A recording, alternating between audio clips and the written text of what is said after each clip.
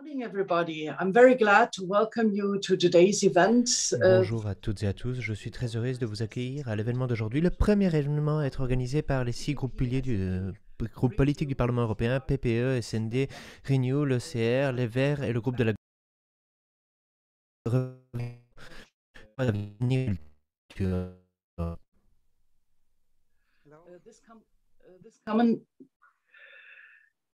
did we did we start already? Because now i see different persons dropping in. Sorry. This common event is a small but nonetheless important example of what we need now in europe to recover from the pandemic. Common effort mutual trust and mentality.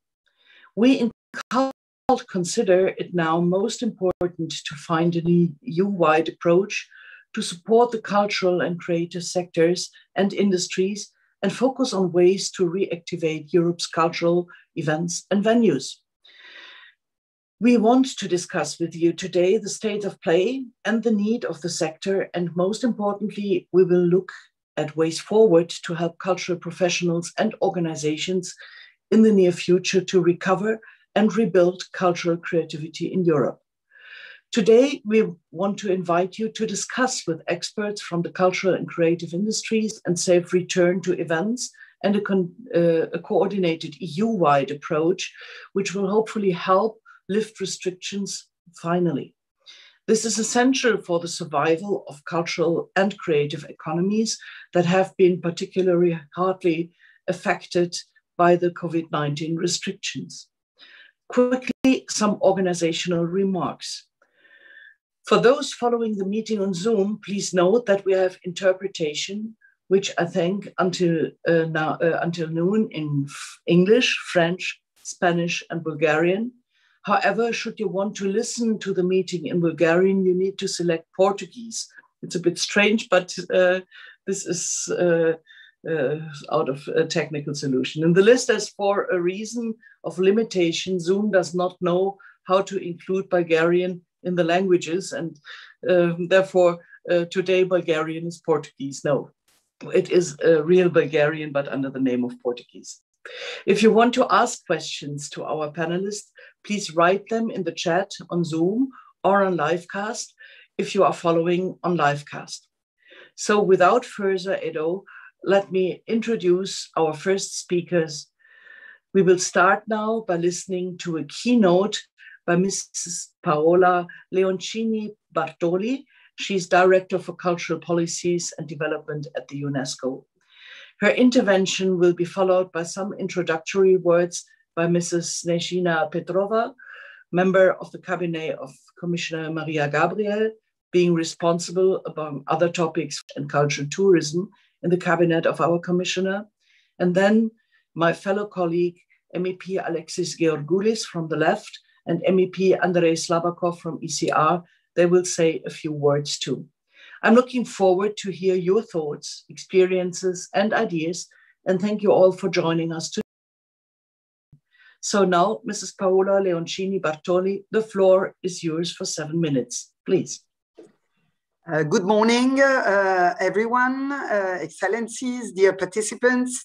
Uh, on behalf of UNESCO, I would like to thank you for this very important opportunity provided to us to be with you and to warmly welcome uh, this initiative, which resonates with UNESCO's own efforts to leverage culture for socio-economic recovery and for driving transformative change to build back better, notably as we celebrate this year the UN International Year of the Creative Economy. It has been more than one year since COVID 19 was declared a pandemic, acting both as a revelator and accelerator of existing vulnerabilities of the culture sector uh, worldwide. Europe itself has experienced an overall 31% fall in revenue in the culture sector. UNESCO reacted immediately to the crisis by adapting its work, providing short term emergency assistance to its member states, but also anticipating long term consequences and responses to the crisis. we have followed equally uh, EU's efforts for the integration of culture into the EU recovery and resilience facility. However, in the past 12 months, continuous disruptions have questioned the boundaries between rescue on one hand and recovery on the other. The measures initially designed to uh, face the immediate impact of the pandemic have begun to deeply transform patterns of cultural consumption, production, and work on the long term. Turning the page to the second must decide what steps are needed to move towards a more resilient and sustainable sector. The crisis has shifted policymaking processes, but also priorities towards more transversal and collaborative patterns. This was made possible because the pandemic has also revealed the power of culture in bringing us together we need to build on this momentum and join efforts for 2021 to be the first of many years of deliberate action and investment in the culture sector and to deliberately anchor culture as a common good in our core priorities across the policy spectrum in the, poly, in the spirit of the UN 2030 Agenda for Sustainable Development. UNESCO considers that culture pervades all of the 17 SDGs. Since the beginning of the crisis, UNESCO has amplified its catalyzer function, driving the dialogue across a variety and diversity of stakeholders. In April 2020, we brought together over 130 ministers of culture for an online meeting to discuss the impact of the uh, health crisis on the culture sector. Uh, we also expanded collaboration with regional and sub-regional uh, IGOs and development banks to target specific demands and needs of different regions of the world in the culture sector. These dialogues sparked a massive mobilization testifying countries' commitment to international cooperation on culture for sustainable development the growing recognition of the economic weight of culture and its key role for socio-economic recovery was further witnessed by the integration of culture in the G20 process as of last year under the presidency of Saudi Arabia. And this year, uh, culture is at the core of the G20 summit under the uh, presidency of Italy uh, of the G20 the meeting of ministers of culture that will be held in Rome on 29, 30 July will lead to the adoption of a G20 ministerial declaration on culture, which we hope will be inspiring G20 leaders in the fall this year. Last year, UNESCO also launched Resiliart, a global movement to support creative professionals and artists uh, uh, across the globe, uh, which triggered more than 300 debates involving 110 countries. The first outcomes of Resiliart are currently being consolidated uh, in order to shed some light and inform the International Year of the Creative Economy for Sustainable Development uh, this year. A high level political forum at the UN in New York took place on 21st May, so only a few uh, uh days uh, uh, uh since uh, today, and discussed these recommendations stemming from the creative sector. UNESCO also developed analytical surveys and online monitoring tool instruments that you can see on the screen uh, to monitor uh, and the impact of the pandemic on the sector and the response of countries. Among these tools, the tracker on culture and public policy, an online monthly monitoring tool in the form of a bulletin, as well as the Culture 2030 thematic indicators, which uh, we are rolling out thanks to the generous uh, support of the EU, uh, which uh, is uh, uh, strategically bringing them forward together with UNESCO in a number of countries which are listed on the screen. All these activities strengthened UNESCO's global assessment on the impact of the pandemic, but also provided clear indications on regional trends and priorities. For example, in Africa and the SIDS, small island developing countries, only 5% of museums have been able to develop online content, revealing the widening global digital divide threats to uh, linguistic diversity online. Testimonials from Latin America and the Caribbean highlighted the key role of local authorities to support the sector, while professionals from Europe and North America have called for joint actions to link culture and mental health and resilience. In Europe, climate action, the protection of cultural diversity in the digital environment, and the need of upskilling cultural professionals were identified as priorities. At the global level, expanding access to culture and accelerating digital literacy have been common denominators across all regions even if policy measures have taken numerous forms. Most EU are able to quickly put in place government support mechanisms, some targeting national economies as a whole, others catered specifically for the cultural sector, triggering a broader reflection on public funding frameworks for culture and other forms of support, such as public-private partnerships and civil society engagement. The wide range of measures undertaken by countries illustrate the necessity for a comprehensive approach to public policy support across different domains, especially to address the following four priorities. One, supporting the adaptation of the cultural sector to the digital transformation. Two, strengthening the evidence based of the weight of the culture sector for countries, both in social and economic terms, which implies leveraging culture for job creation, especially for vulnerable groups, such as we, youth and women. Three, supporting the contribution of culture to climate adaptation and mitigation. And four, fostering closer synergies between culture and education, including through technical and vocational education, non-formal education, and lifelong learning. In conclusion, this joint endeavor requires advocacy actions and international cooperation in order to shed new light on the role of culture as a common good towards shaping inclusive and more adaptive societies. Looking forward, these actions will pave the way towards the Mondiacult, the World Conference on Cultural Policies for Sustainable Development, which will be convened by UNESCO in Mexico in 2022.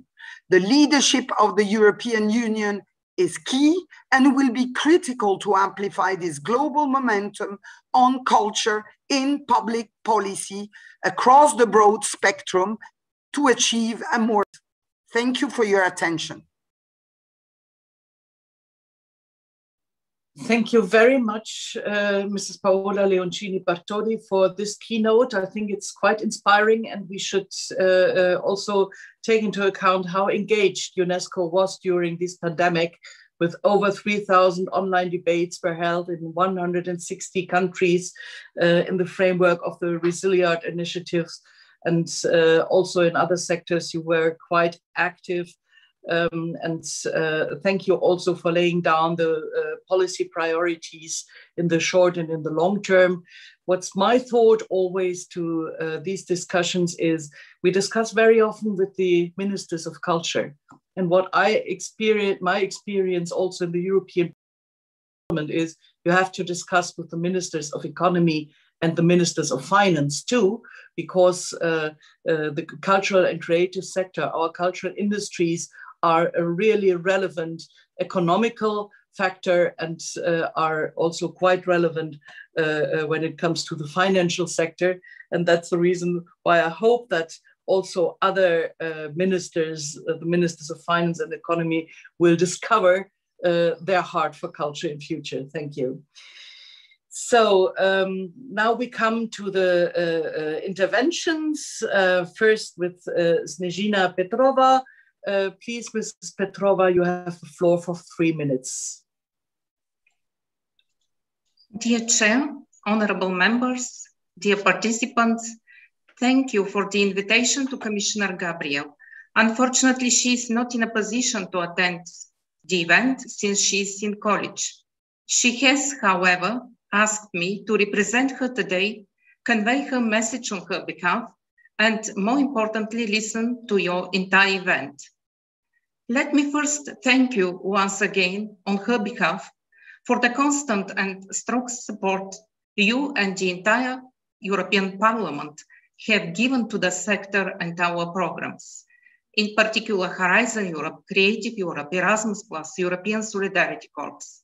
Last week, the debate and vote in the European Parliament on our programs sent a strong message to the cultural and creative sectors.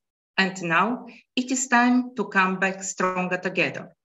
This is also the message that Commissioner Gabriel conveyed during the ministerial that took place last week. As we know, it is essential that EU member states take full advantage of the recovery and resilience facility to enable recovery from the negative impact of the COVID pandemic and to make the cultural and creative sectors more resilient, more resilient to future crises by addressing the structural challenges they face. The recovery and resilience plans are not quite final yet, and it is too early to disclose results.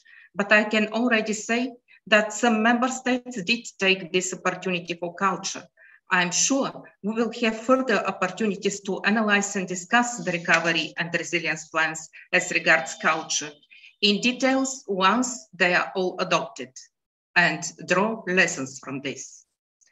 Last week's Council conclusions on the recovery of the sectors also invite Member States to promote within the appropriate frameworks social protection for cultural and creative sectors professionals that take into account the characteristics of cultural and creative activities in close dialogue with the sectors and encourage the exploration of new ways and means of securing artists' income in full respect of subsidiarity, of course.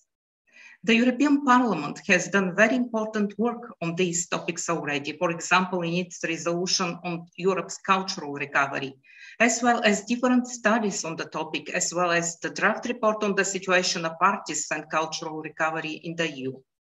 We all agree that action is needed concerning the improvement of the working conditions of artists, as well as cultural and creative professionals in times of the pandemic more than ever. My services are working actively on this topic. We issued will conduct dialogue with in June the framework of our Voices of Culture structured dialogue.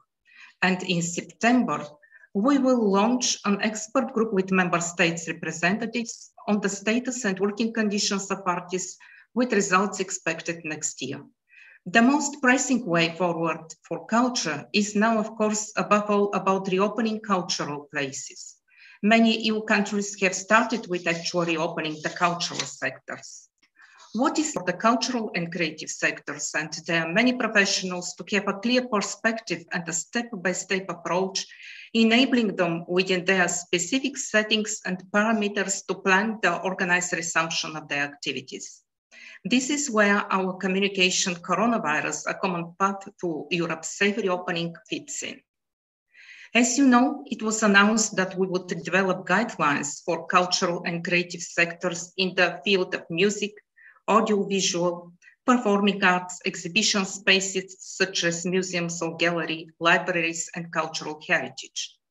Here, what will be important in our view is to base ourselves on existing measures that are being taken at local, regional, and national levels. For this, your discussion today and your input will be extremely valuable. Internal work has started already, liaising with all the services involved. As developments are happening across the EU member states, we need to move fast and come up with these guidelines before the summer officially kicks in. While we will do our way best to support the countries and the sectors, it is important to underline that high vaccination coverage of the population is the only sustainable approach for fully lifting measures and reopening the society, including cultural establishments. I will stop here. Thank you very much. Thank you very much, Mrs. Petrova. Also, a thank you to Maria Gabriel, even she could not be here in person, but for uh, uh, her very engaged uh, work uh, for the cultural sector. Now I would pass the floor to Alexis Georgoulis, also for three minutes, please. Thank you, Sabina. Hello, everyone. As shown by the title of our common event, Coming Back Stronger, Ways Forward to, for Culture, there is a great need to make use of the lessons that the pandemic taught us. The cultural pre-existing problems and inequities were inflated by COVID-19, highlighting the urgency to tackle the situation at a European level. Therefore, we need the European framework for working conditions in cultural and creative sectors. There are several issues that um, I know firsthand by my own experience as an actor, and I urge you to also focus on the precarious labor conditions of artists. We need to tackle the non-standard nature of artists' working conditions, financial instability, and limited access to social security benefits. As all European citizens, cultural workers should get payment according to their work in real life as well as in the digital world. Rehearsals, for example, should be included as regular working time for all relevant social and financial benefits in all member states. Additionally, any digital presentation of cultural content should lead to a fair and proportionate remuneration for the creators involved. Moreover, artists should have access to the same social security safety nets as all European citizens have, especially artists in performing arts. Their only professional equipment is their own physical body, meaning that if an actor, a musician, a dancer gets injured, they would not be able to walk at all, and very often unable to achieve high levels of performance ever again. Therefore, there should be a special health insurance policy for the, for the specific features of artists a solid first step in order to provide a multidimensional, holistic, and coherent policy instrument is working together to create a new resolution aiming at strengthening the sustainability of cultural and creative sectors. After all, this is what today's event is about, to bring us together. Let's not forget that culture is the catalyst to bridge our differences, to strengthen the dialogue among, and we, the members of the European Parliament coming from different political groups in the CULT committee should lead the example and unite forces to achieve a European framework for working conditions in cultural and creative sectors. Together we go further. Thank you. Thank you very much, Alexis. And now we pass over to Andrei Slabakov, also for three minutes. Thank you. Благодаря, уважаема Сабине. Надявам се преводачите да ме чуват добре най-после, че Well, thank you very much, Sabine, and I hope that everyone hears me loud and clear. We've had a few issues last time, but I have been deeply inspired by the fact that today interpreters are also on the Portuguese channel. Anyway, uh, I am very happy about the fact that this topic, this uh, event could be organized. And Investments in uh, culture and creation are investments for the future, but the EU has very few programs uh, in the end for culture. When we talk about investments, we should not forget that member states are the ones to define policies on culture. I am convinced that the most important criteria on all projects should take into account the, the artistic content and uh, should not um, be intertwined with red tape.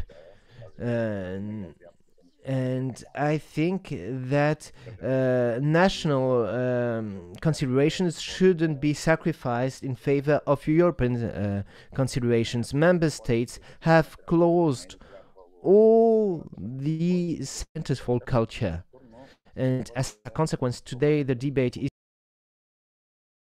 not to know if we need to close or not.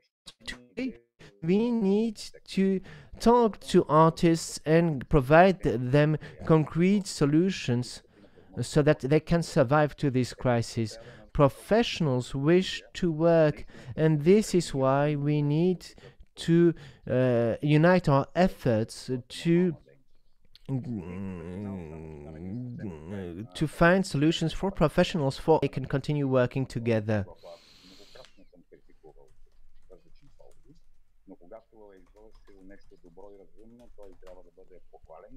Unfortunately, we are unable to hear our colleague properly.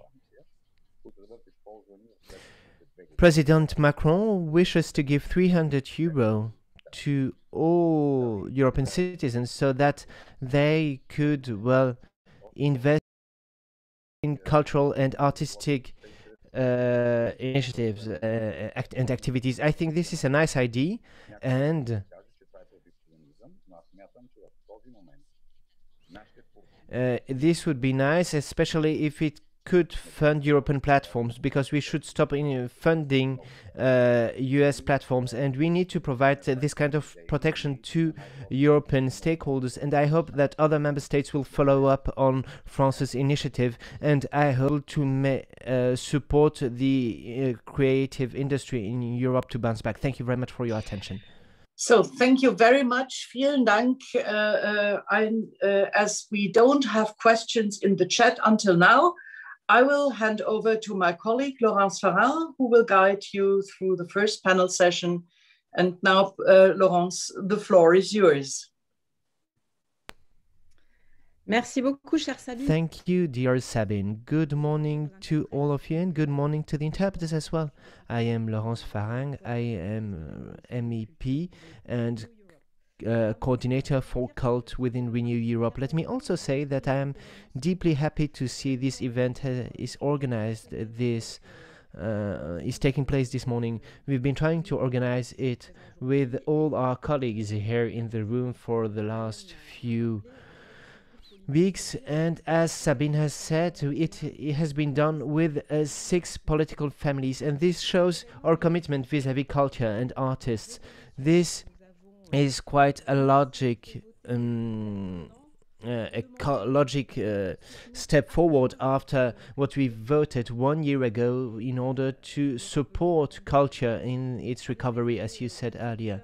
So one year has passed, and our cult committee for education and youth and sports as well has been tackling this issue of uh, putting an end to lockdown to this industry. It is challenging because the competences of the EU here are quite limited nowadays. And furthermore, we need to strike a balance between safety, health, security, and uh, helping Europe, uh, Europe's culture bouncing back after these difficult times. I think that today, together, we can agree on the fact that we need to learn from the experiences which have been carried throughout the world, but also within our member states in Europe in order to coordinate uh, the creation of a new, a new uh, cultural life. We've had an event in Barcelona without any contamination and other tests in Luxembourg and Leipzig. And thanks to these tests in Paris, we will have a concert with 5,000 people. And building on all these experiences, we are able to pave a, a way forward. And as soon as clubs, uh, bars, restaurants, uh, and all cultural play spaces will be open, we will need to ask ourselves how we'll be able to have uh, distancing rules, masks, and other safety nets. Uh, and make culture thrive because culture is also intertwined with uh, encounters and meeting new people. And this is why we invited a first panel uh, I would like to welcome, and I will give five minutes to each of you. Please stick to these five minutes and then we'll have a, a, a, wider exchange with the public and i think we have many people here and you'll be free to ask your questions in the chat so first of all let me warmly welcome jordi Arriola director of the goya uh, festival in barcelona and who is also, who's also been in charge of the concert end of march. Afterwards we will hear coralie Beral, who is a venue manager of forest national uh, 8,000 uh, seats and with also chair of the different arenas.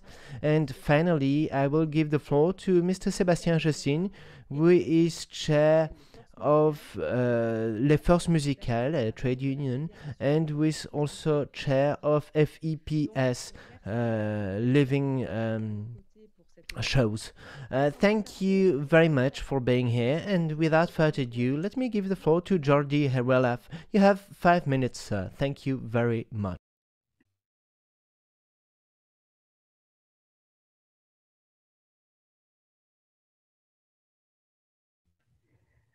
Monsieur Arriola est-il connecté? Mr. Arriola, are you with us? Are you connected? Very good morning. Thank you, Laurence, and thank you to all of you. If you allow me, I would like to explain to you my experience in the past year and a half since the beginning of the COVID crisis. Since the month of Mar March last year, the cultural world was blamed to be possible spreaders of COVID because it um, united too many people together, brought together too many people without respecting social distancing. From that moment, I started contacting different public administrations and science, scientists. In terms of health, we have a whole group of experts, health experts in Barcelona. So I wanted to understand what the situation really was and had the idea to develop this type of uh, tests like a music festival, which is like creating an ephemeris city for 30,000, 40 or 50,000 people following strict and technological protocols. And towards the month of May, after many exchanges with these scientific committees, I realized that this was not feasible because they had a high error margin, three or four percent of false negatives that could uh, increase the propagation of the virus greatly. So at the end of the summer last year, we proposed alternative models.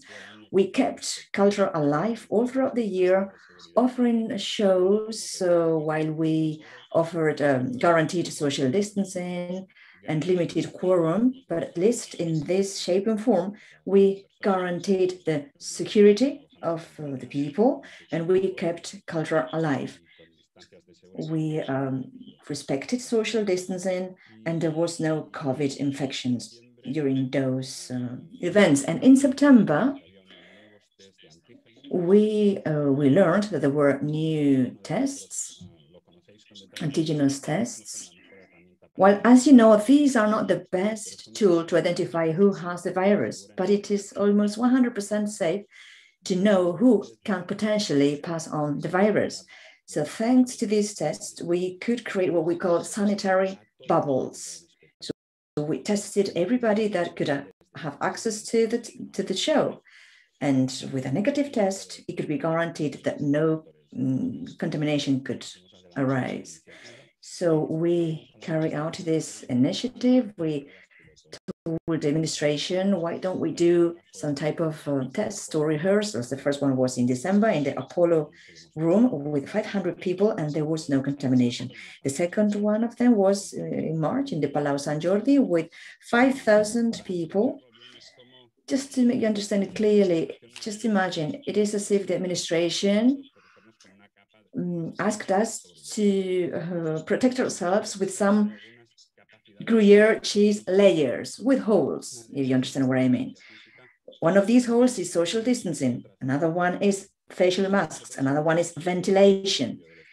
So what we suggested, thanks to the support of the scientists, was to eliminate one of these layers, social distancing, and replace it with the antigenous tests. In this way, we kept security and safety, and the rehearsals showed that these are 100% safe.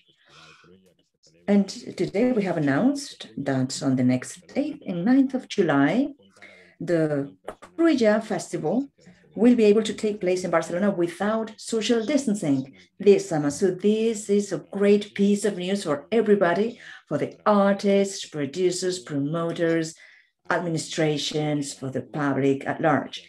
Culture and science have got together to guarantee security and to make sure that if new crises arise, we have a solution. We don't have to close all doors to culture.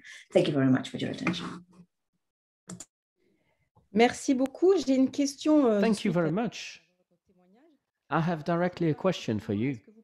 If you go a bit beyond, do you think that once the whole population will be vaccinated, we will be able to resume a completely normal cultural life as if nothing happened? Did you work on that already? Uh, once vaccination will have reached a high level? Yes, well, there seems to be two options. One is that the vaccination is uh, fully efficient and everybody is vaccinated, and then we can go back to a fully normal life. But option B is that the new strains, the new variants can really impact in our lives, or that there might be yet another type of sanitary crisis. And we need to be prepared for this eventuality. So what we have done with this uh, rapid tests was to find a solution, an alternative to confinement, to lockdown. Now we are working with local administrations so that the, pharmac- the pharmacies can provide, and they can be some type of notaries of our health state through this system. This is the only guarantee that we can have in face of a new crisis. This could be the only alternative to lockdown if vaccines are not going to solve everything. Perhaps in November we will realize that this hasn't really worked. But if there is another crisis, at least we have a well functioning system that keeps culture alive. Thank you very much for your very important and interesting testimony. Now, I would like to give the floor to Coralie Beral, who is the venue manager of a Forêt Nationale uh, venue in uh, Brussels.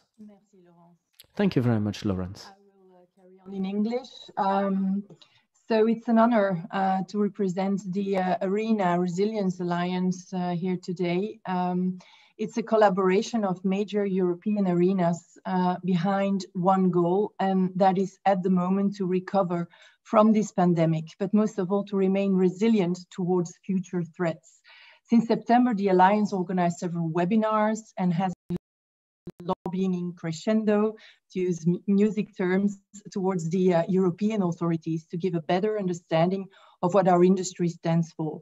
For many decades, arenas and their ecosystems have been contributing in stricto sensu to cultural education of our communities, but also to the economy of each country, to the broader education and well-being of society. And yet, we became non-essential. We were shut down in a panic, put aside, and in 15 months, able to reopen. This without any scientific evidence. Even worse, we were ignored with the only perspective of reopening in the very last position. On the practical side, reopening the industry, our industry in many countries, based, was based on accumulation of measures that only our industry is faced with. So culture will still be penalized as opposed to other types of industries like retail or restaurants or cinemas. We need to accumulate and test at the entrance and even test negatively, we still need to wear a mask, we still need to keep social distance, etc., etc. So the industry took this matter in, in their own hands, and indeed, like it was mentioned before, uh, many test events were organized in several countries to prove that our approach is uh, safe and sound that it's a level of expertise in a very controlled environment. Many arenas in Europe finance themselves costly test events. Needless to say that the results were as expected. Uh, they were organized in a controlled environment and so even less dangerous than inviting one person into your living room. We need to build trust and confidence in what we stand for.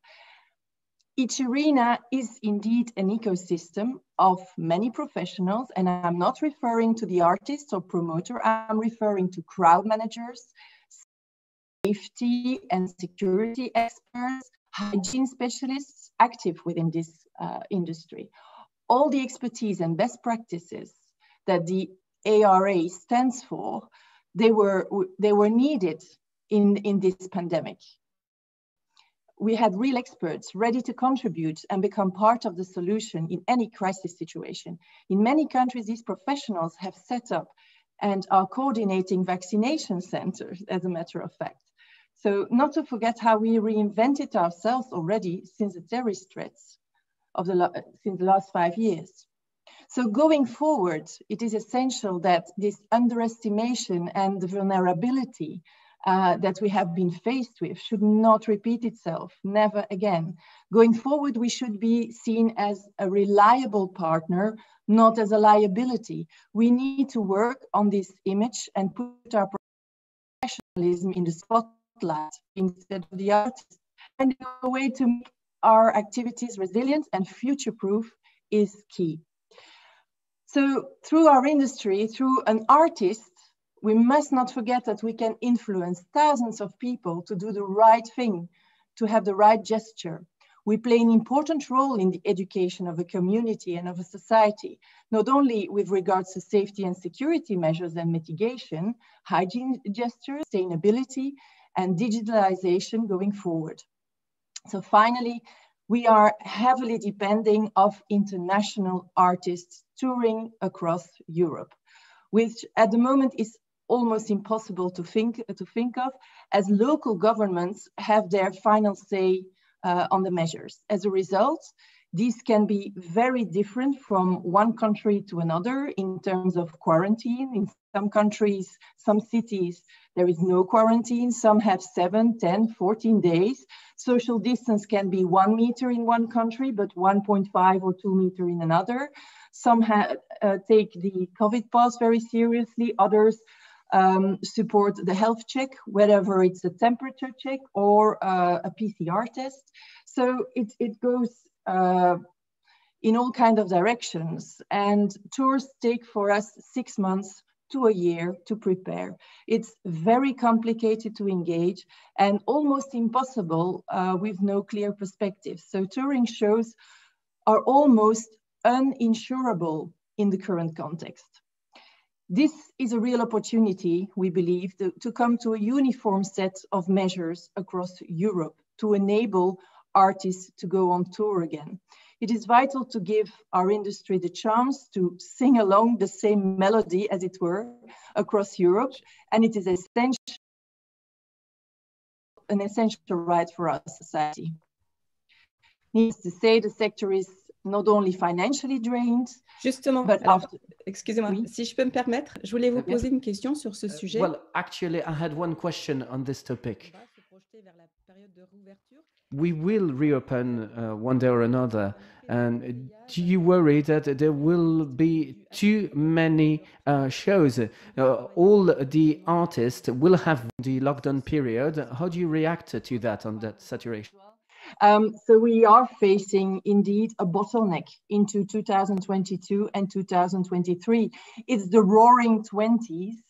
However, we are facing a major brain drain and staff shortages because obviously the, the, the tours that were planned for 2020, 2021, they will come on uh, 2022-23 together with new uh, tours. And so, you know, the, the technical teams uh, at some point will have to choose which store they are going to uh, to take on. So recruitment and, and investment in staff training will be necessary to ensure the level of, of quality we reached prior to the pandemic. It will take us several years to uh, to get back to uh, to a decent um, a decent level. It is an issue, and and because of that, uh, some uh, artists their uh, of uh, of staff. So so yeah, it, it is a it, it is one of the major uh, concerns at the moment. But you know the ARA remains available for supporting um, the European institutions in working out future strategies to reinforce uh, our industry uh, together. Uh, and that can be in terms of obviously training, safety, security. Beaucoup. Et c'est Of course, we're working on that today. Thank you ever so much.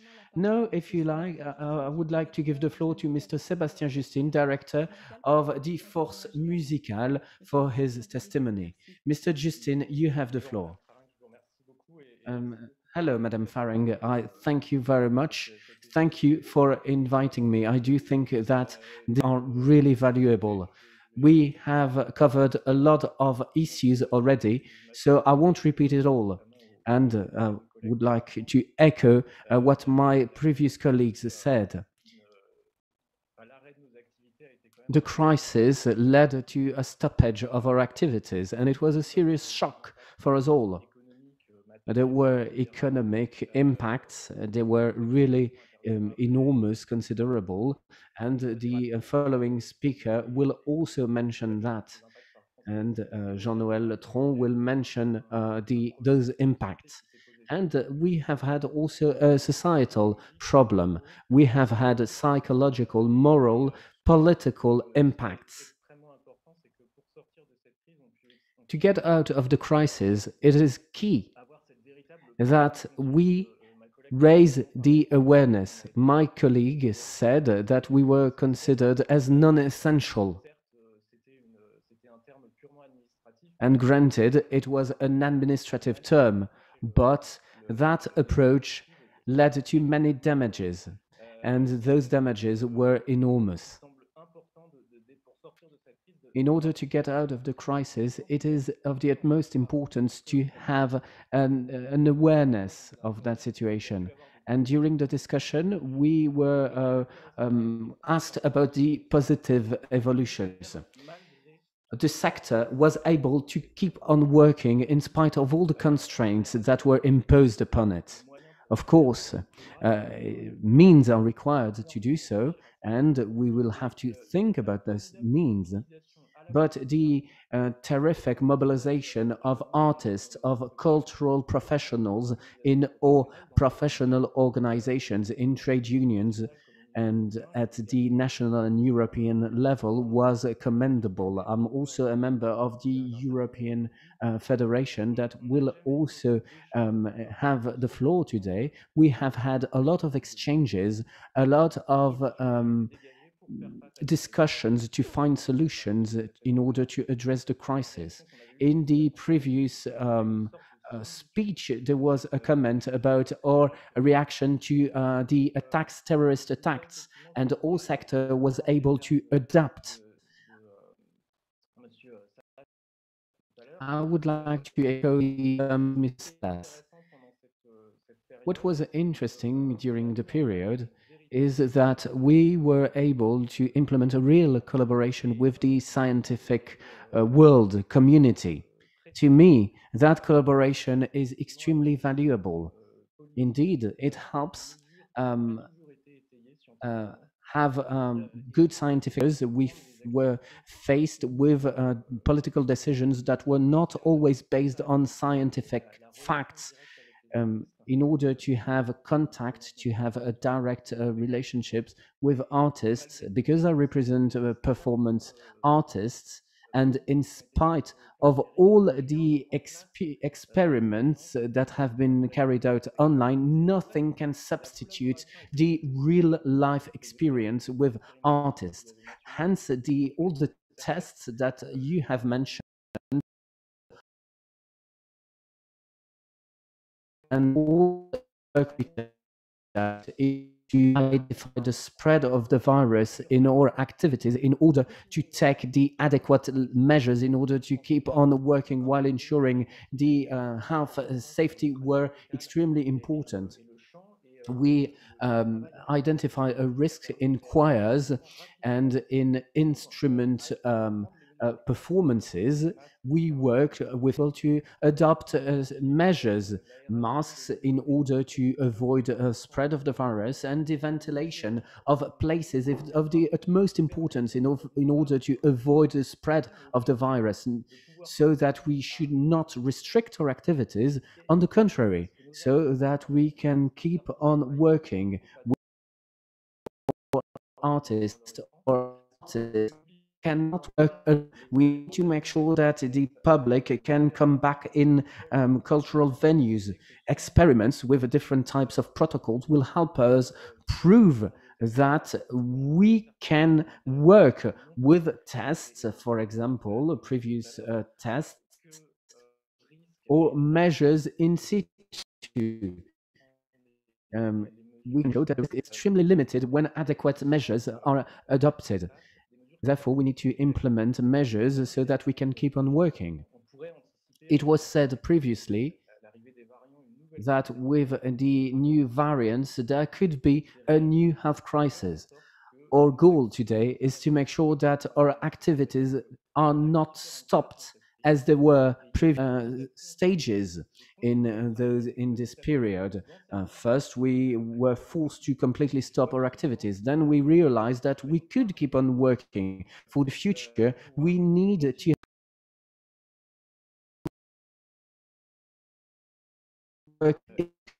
conditions of extremely important and i'm happy to hear many colleagues saying that uh, artists can work uh, and uh, after the crisis, we will realize that uh, uh, national solidarity was of, of the utmost importance, in France at least.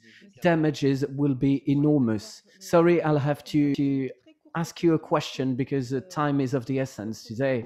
I have a question on uh, another point uh, training of artists, uh, would be artists in times of crisis. How can you do that? Very quickly. Um, in those times of crisis, uh, the training of artists is complicated.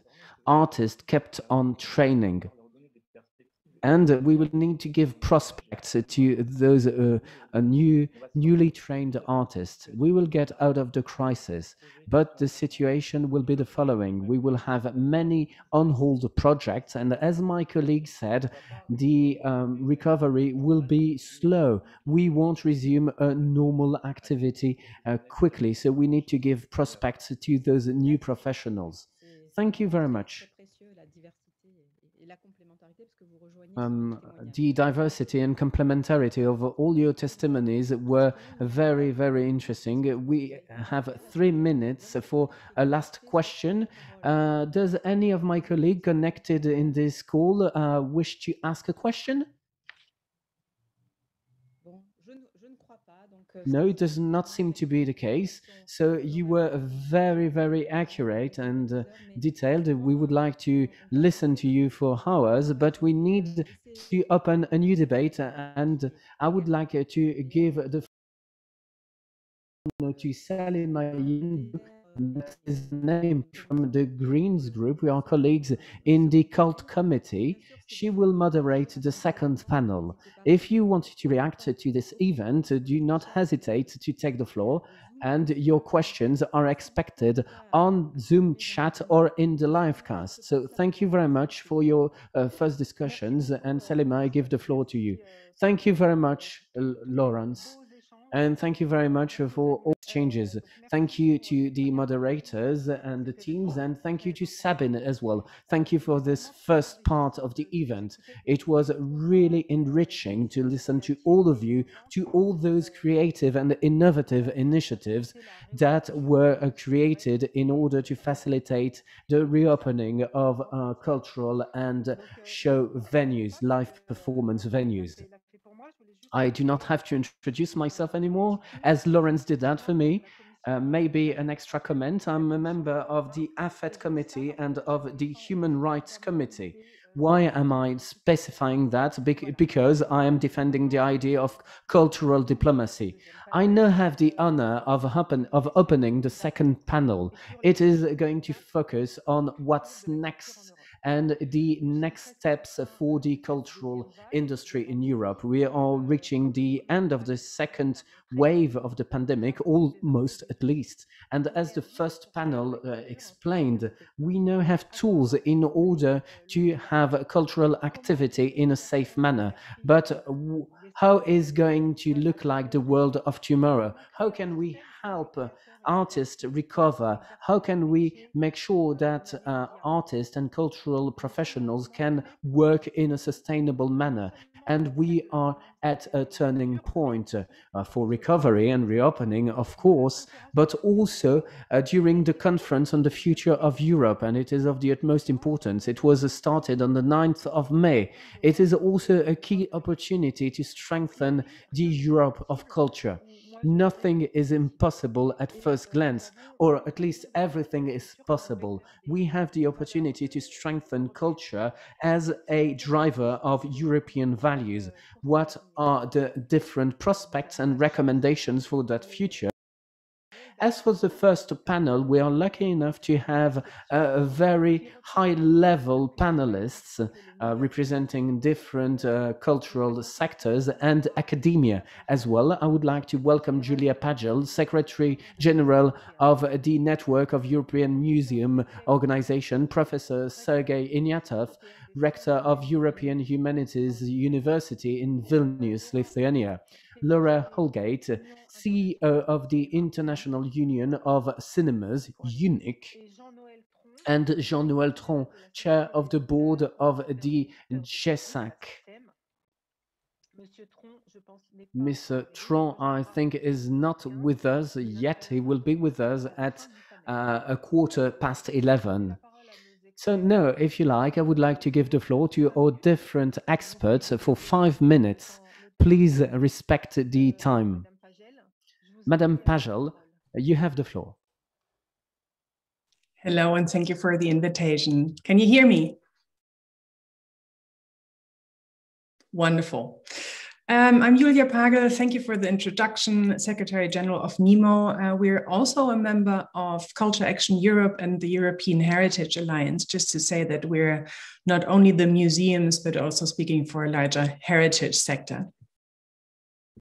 In the short time that I have, I would like to refer to three aspects specifically the longer term impact of the lockdown for museums and their learnings from it, steps to make the museum more resilient to future crises, and two uh, concrete recommendations for decision makers. So let st let's start with the assessment of the longer term impact for museums and their learnings from it. Learning number one uh, museums are more flexible than we think, and probably that they have thought themselves. We've offers that museums came up with in the first weeks of shutdown in April last year. There was a digital wave of offers, learning materials, videos, online games, social media challenges, all done without any additional resources, by shifting staff tasks and improvising. And now we have to think about how to keep that wave up. We need to level it up with investment in staff and infrastructure and strategic reviewing, because what we have seen is innovation at its best. And innovation can come through ruptures and unprecedented situations like the pandemic, but to make innovation a structural component of cultural organizations, we need serious and targeted support. Learning number two. A museum without visitors is lacking its main reason of existence because a museum is for people.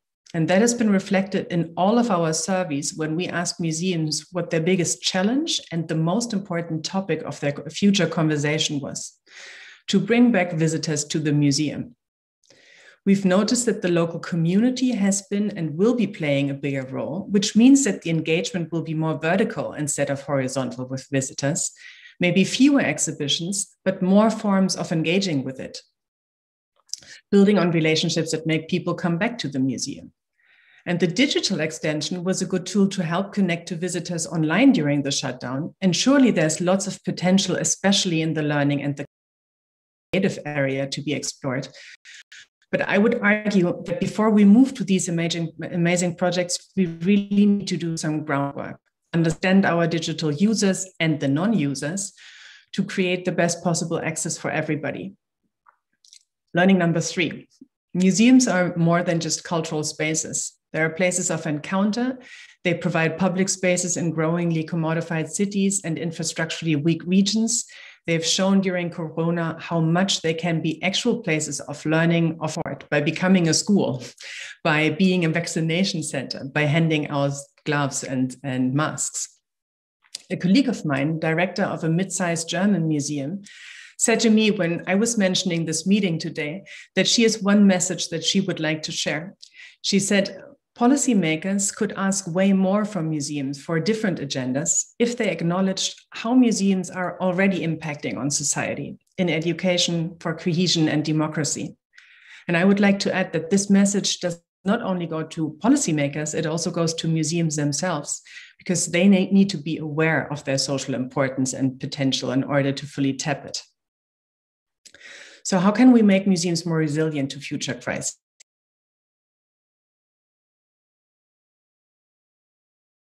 Learn from Corona is that it acted as an issue. It also triggered all kinds of incredible innovation and creativity the question of how to become future proof, be it for crises, for a changing society, technological development, has been debated for long already. And we've been discussing about transformation deficits in the sector and a lack of adaptation to social change for quite some time. So, the basic ingredients to an agile, open, transformative organization more autonomy on organizational and individual level, innovation focus, proactivity, and daring to experiment, and sometimes to fail and now hardly any of those ingredients are part of the public funding logic. On the contrary, we've seen large amounts of money going to digitization projects for a great virtual tour and museum. And don't get me wrong, I love that, but hardly any support for infrastructure building or maintenance. Services just as um, training, skills development, funding to develop a comprehensive digital strategy are hardly supported. To make a long story short, museums need support for uh, less support for project and output driven one-off initiatives. They need support for long-term sustainable organizational adaptation and change. And that brings me to the two recommendations, and I would like to cite NEMO COVID-19 and Museum Survey. Recommendation number one, next to the continued support for museums to ensure the maintenance of quality core activities and investment in the ongoing adaptation and development of museums. NEMO recommends investing in and developing museum skills and knowledge to access and open new sources of funding outside state support through dedicated programs and initiatives. And recommendation number two is for the digital development, we recommend a strong focus on the basics, the development of digital skills and infrastructures of museums, including the development of sound metrics, frameworks, and methods to track digital activities and success. Thank you.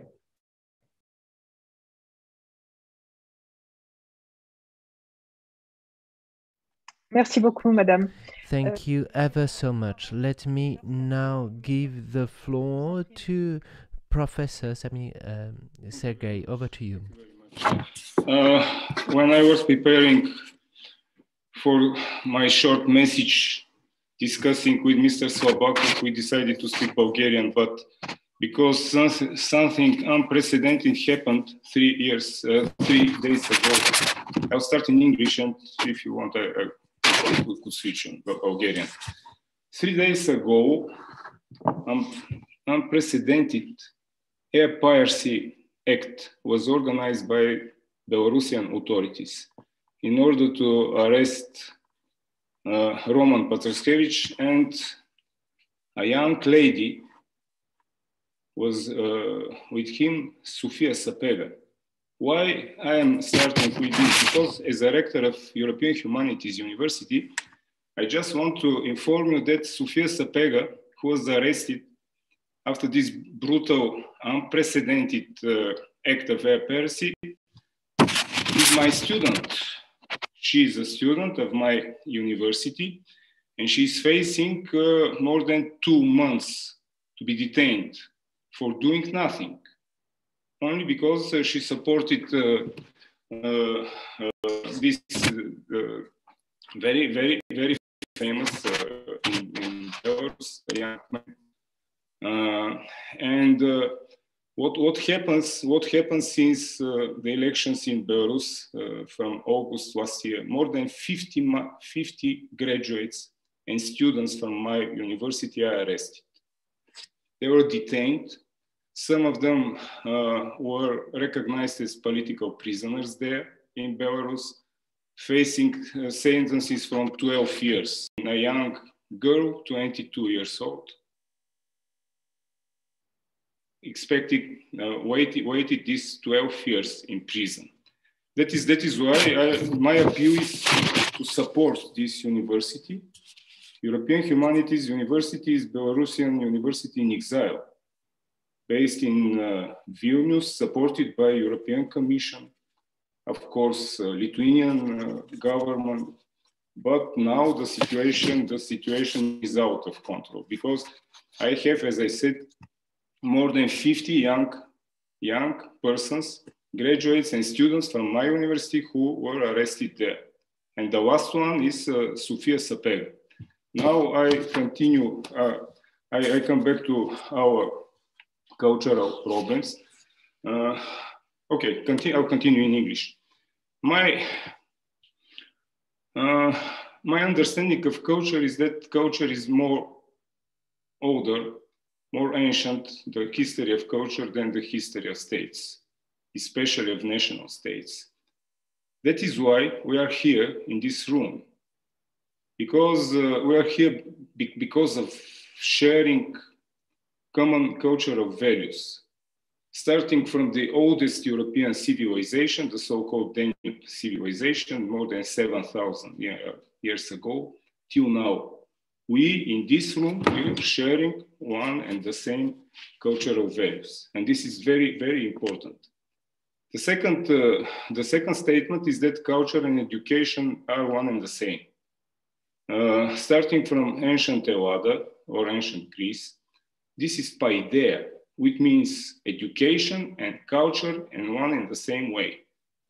Two sides of one and the same uh, coin and because I was instructed to speak about the future, what will happen with our culture after this pandemic situation, uh, the first, the first uh, what comes to my mind is that the health crisis opened a new gap in producing and accepting cultural product. COVID-19 crisis has increased social inequality which will lead to the dropping out more cultural makers, authors, and their public as well. More than a year, we are not stopping to repeat the mantra digital, digitalization, digital transformation, and so on. And it's true. Thanks to technologies, uh, it's very possible it's very possible now to communicate, to see different stars from the fields of culture from different parts of the globe. But culture, especially literature, theater, music, cinema in our days, which derives from all this, the culture, this culture of phenomena was born from ancient mysteries and still has the element of dedication. We, sh we should be introduced to, to this uh, event. For example, we are in the, this mag magical room of theater, of opera, of, uh, of the cinema. It means that the efforts of actors and public are equal. They are equal because the percent, the, the, the perception, for example, of uh, theater when we, we are there in this magical room differs from viewing theater on our monitors, for example. The, digitalization makes us more viewers than players. The human beings are social creatures, as you know, and the social element tended to disappear during this pandemic year. According even to my experience, because I am lecturing more than six, eight hours uh, per week using Zoom or Moodle, diff different, uh, different instruments. And uh, what I see, what I see is that this social element disappears.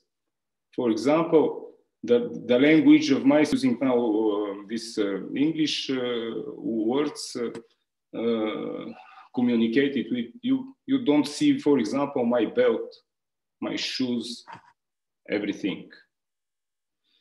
It was uh, mentioned about the big, big platforms like Netflix, for example. They are very useful, very friendly, but uh, I believe that this monopolism leads us to unification of culture.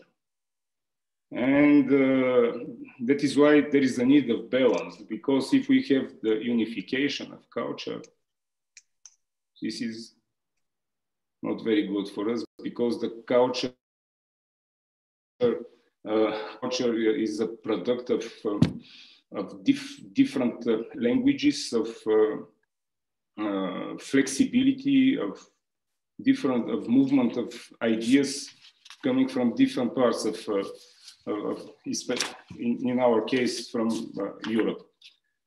I belong to right-wing political views. Excusez-moi, professeur. Désolé. Est-ce que Excuse me, Mr. Professor. Let me give you one more minute, maybe, to try to reach your conclusion. Thank you. Uh, we need to first to increase the percentage of states' budgets on nation levels about sectors of culture and uh, and education. Second, there is a need of tax reliefs for persons and families in case of using cultural and educational products, theater, cinema, buying books, museums, opera, uh, etc. There is a need of tax reliefs of using educational services which are not supported by the government, which don't belong to public sector, for example, private schools, private.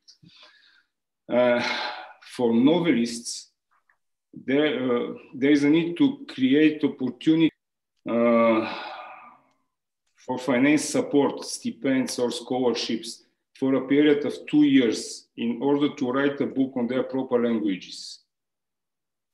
I think that I have this, I had these five minutes. Thank you very much. Merci, merci beaucoup. Thank you, thank you ever so much. And you are right, uh, Professor. Authoritarian states tend to attack culture because culture emancipates, is source of freedom and liberties, and uh, intertwined with humanistic values. Let me now give the floor to Laura Houlgatte. Madam, over to you.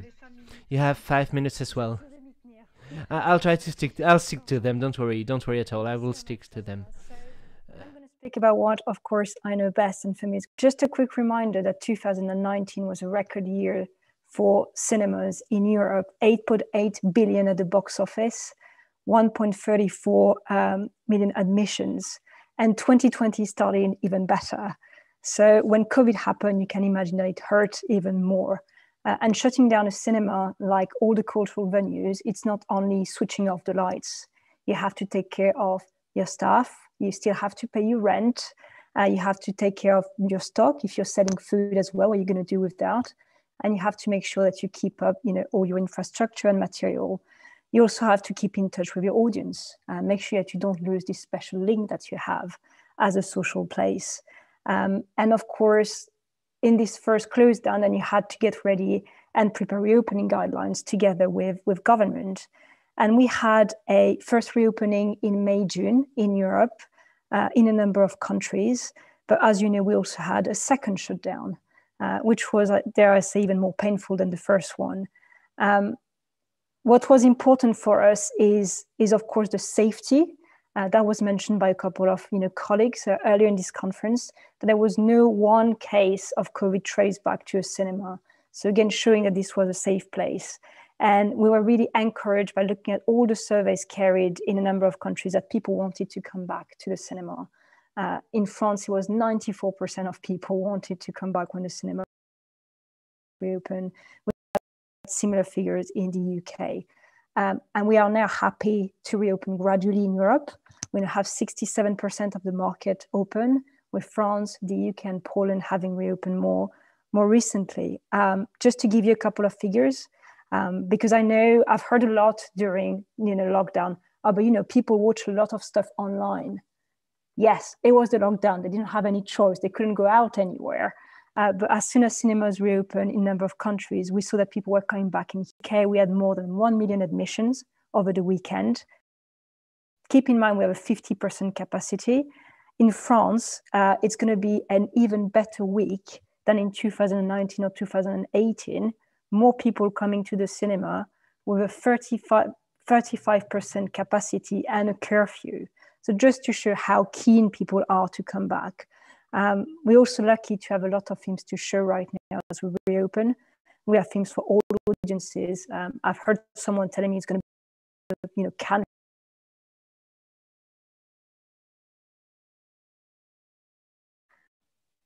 really take time.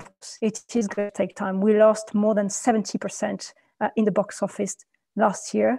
Restrictions are going to be there for, you know, a few months at least. So, you know, we, it's going to evolve in time depending on where you are. So you have rent to pay, you have to train your staff, you have increased operational um, cost.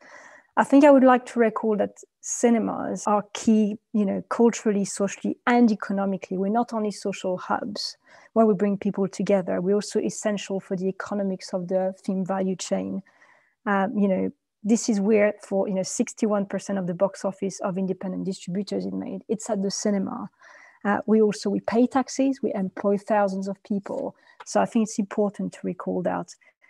Um, you know, we also need to um, I think, be very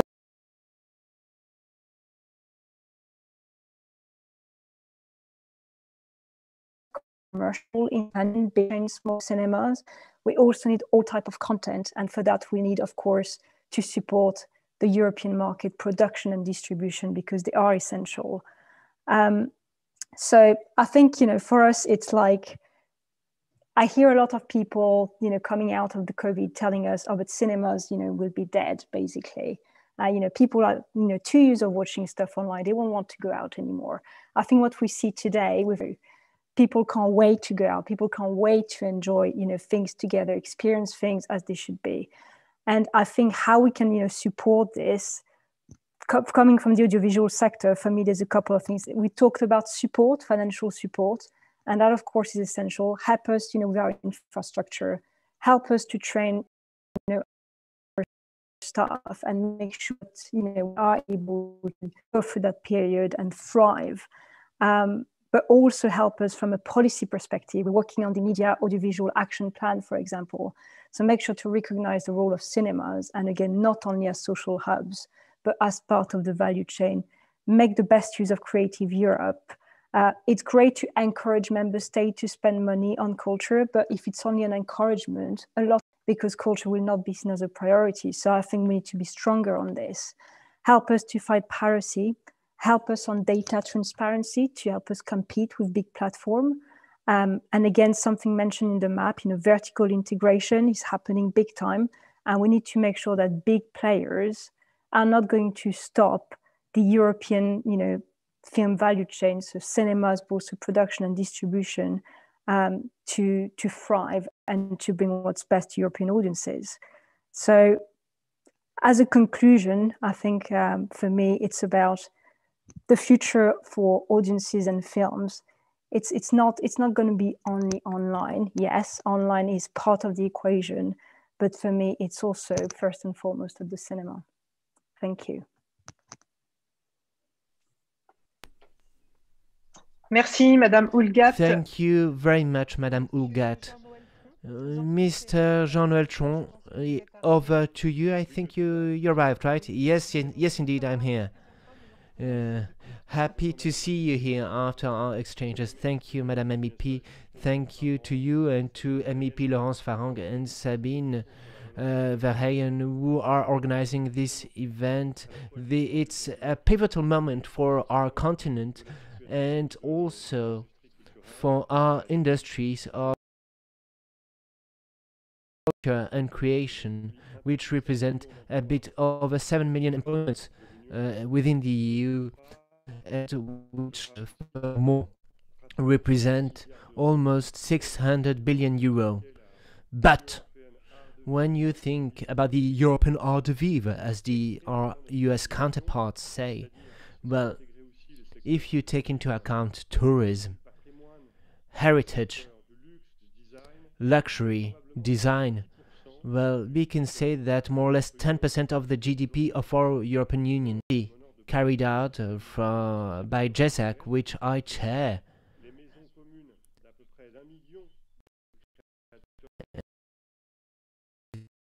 And 20 European which are devastated by this crisis, and SACEM, which I lead, has received 30% of income, and we don't receive any subventions from France, and we have given uh, support to over thousands of uh, workers in our industry. If you have a look at our GESAC, well, you can see over 200 billion euro uh, of value have been destroyed in 2020 and maybe even more in 2021 because uh, the industry is going on and 1 to 2 million employments are threatened today in the EU. And if we take into account tourism, hotels, restoration, well, we are talking about employments which cannot be delocalized. We will get a set culture cannot de be delocalized. You not go. You cannot go to a theater in Shanghai if you live in Vilnius. And furthermore, beyond uh, people who are employed to produce movies, well, they are other peoples who work for festivals, for dance, for music, for video games, and who do many tiny things. I won't dig into details because we have not that much time ahead, but I would like to focus on four main ideas. First of all, we need the EU. It is paramount, and we need our European Parliament. And I would like to thank from the bottom of my heart the MEPs, thanks to which the resolution from September 2020 on the recovery of culture in Europe uh, allowed to send a strong message to the EC. And let me tell you, end of January, I was leading a delegation of artists, and we met seven European commissioners, and Dombrovski, and then uh, Maria Gabriela, and we also met other commissioners and Commissioner Gentiloni uh, ensured that he would support us, and his service is now working with us on the monitoring of re res resilience and recovery plan. Uh, the resilience and recovery facility because it has not been acted yet, and less than one percent of our um, of um, European citizens are uh, have English as a mother tongue, so this is a topic we should tackle, but uh, even though it's not for today. So we need the EU, and hats off to the European Parliament, ha which has shown what had to be done. Second thing, as it has been, Professor Ignatov, Europe is not a technical system based on values, uh, laws, and democracy. Uh, law and uh, democracy are also there in New Zealand, but also in North Korea. Uh, Europe is a civiliza civilization which is thousands of years old.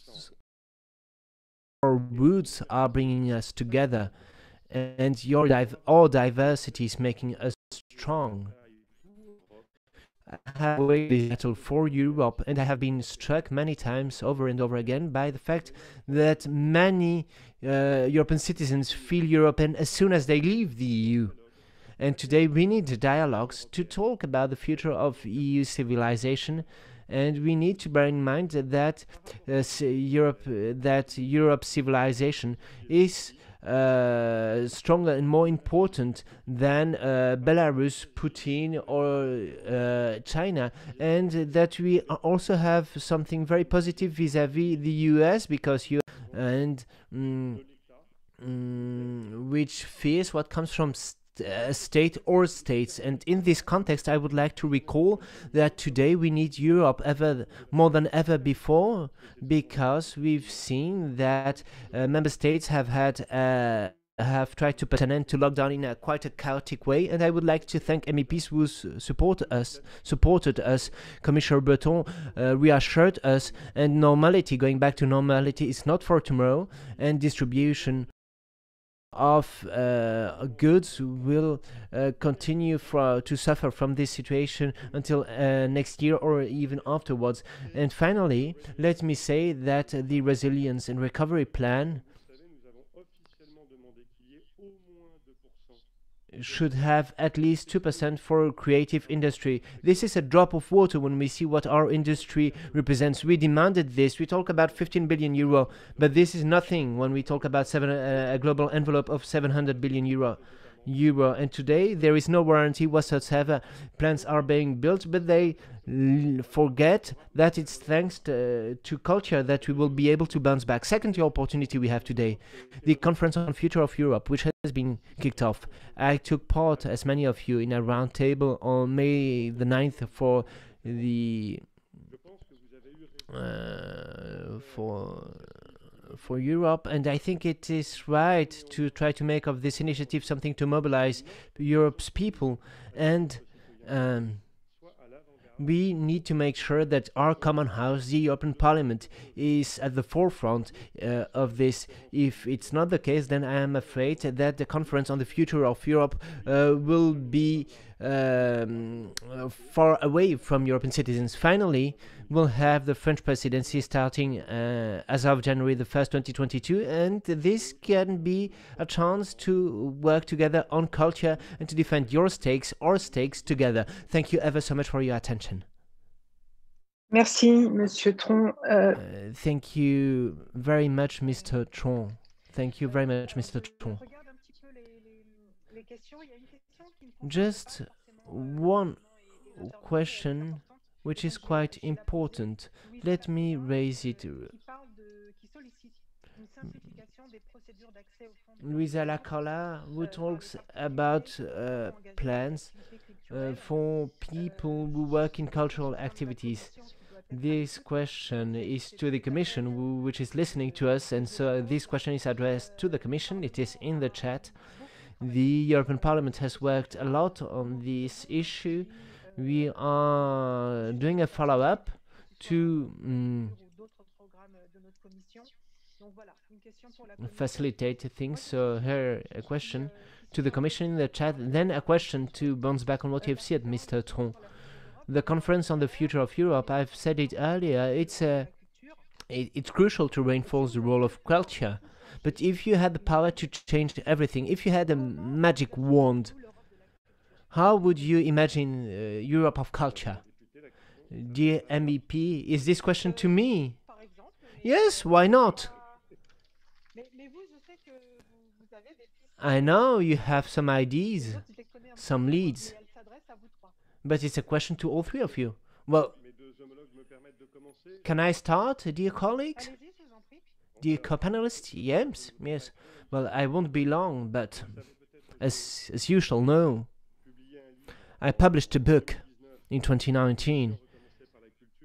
Uh, and if we were to start, start with culture, uh, pleading in favor of, of Europe and sovereignty, when Europe was given powers on uh, culture during the elaboration of the Treaty of Maastricht, it was a bit too late. The double integration and expand, expanding process made the, the Union difficult to manage in a quick and efficient way, and the crisis which followed, uh, first with the French rejecting the treaties in 2004, and then the financial crisis in Greece, and then Brexit, and nowadays COVID, have made us used in a dangerous way of the fact that we just have to make do with that.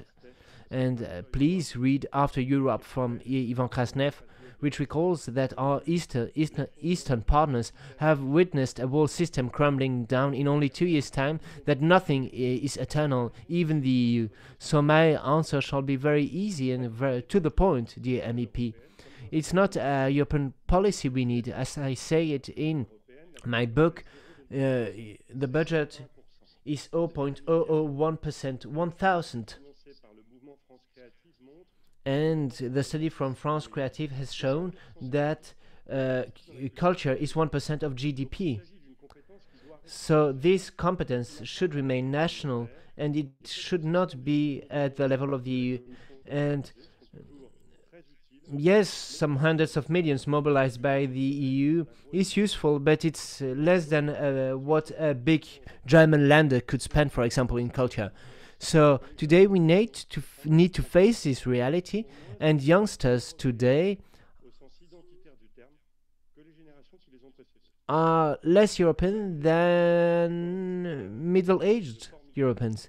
And then Erasmus is a marvelous program, but it actually only touches less than 2% of European um, students and less than 1% of uh, European youngsters. And uh, so it means we need we would have to carry out many efforts to expand Erasmus. And so, uh, or uh, culture should remain national, or we should have 50 billion billions a year. Then we should avoid that during the nef- next referendum we would have an Italexit or a Frexit. And today we know that this could happen. Nothing is impossible. So I've made 10 10 proposed mention one what's the major sign of uh, uh, de denial denial of our European identity? Well uh, uh, notes European notes because actually these notes uh, show windows and doors and uh, notes had not to be atta attached to any culture. And this is the and notes are used by all 300 million citizens every day because citizens don't go in an Ariane um, space shuttle every day. Not all citizens um, go on Erasmus, not all citizens uh, travel on an Airbus, but all citizens use notes. And as a consequence, an, a proposal which has been made public in France as well, let's have a European referendum uh, as, as made possible by the European Treaty so that citizens would vote and so that European citizens would choose people from culture, politics, science, which would be on our European notes. And finally, one example. M millions, tens of millions of tourists want to come to Europe. And Timmermans and um, and uh, two Europeans who invented the World Wide Web. Mm, allowed to create innovation and I'm ready to bet that if we were to make a poll within the 700, 750 MEPs in mm, that very few of them would know that uh, Europeans created the World Wide Web, even though it was uh, in the US that they did so and that they invented the IPs. Thank you ever so much. Anyone else? Si je peux juste, sorry, français, anglais, um, mais uh, si je peux juste ajouter un point, je pense que pour moi. If I may add one point. Even if it is just a symbol, we should remind that culture is essential. It is of the utmost importance because for months we have been told that we were non essential in uh, society's life, and uh, it was really harsh for us uh, for all structures as cultural venues. It was also uh, terrible for citizens to hear that culture was non-essential and we should make sure that culture is a priority.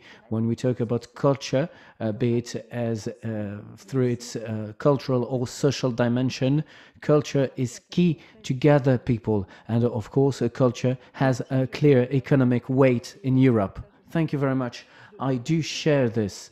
And I do share also the important point of uh, creating a, an, an ownership sense in Europe through banknotes, for example, and through other proposals that I could uh, find in your book, Mr. Tronc. I have a last question. The cultural sector of tomorrow in Europe, how could we avoid intensify inequalities between public and private stakeholders and also within um, um, rich and uh, more vulnerable regions. Uh, some uh, um, um, some ideas have been given, but uh, would one of you like to come back on this issue?